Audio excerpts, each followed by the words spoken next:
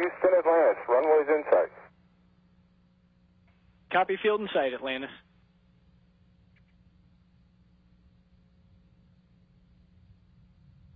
Punching through a deck of clouds at about 11,000 feet. Atlantis now aligned with runway 15.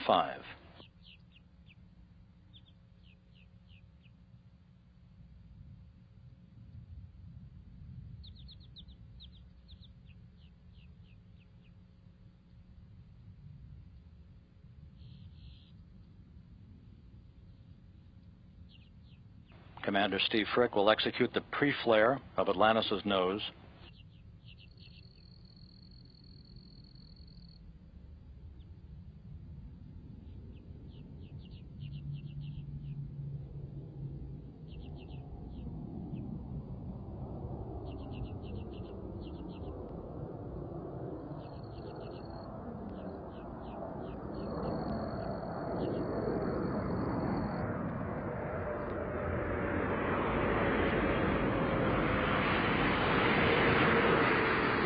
Landing gear down and locked.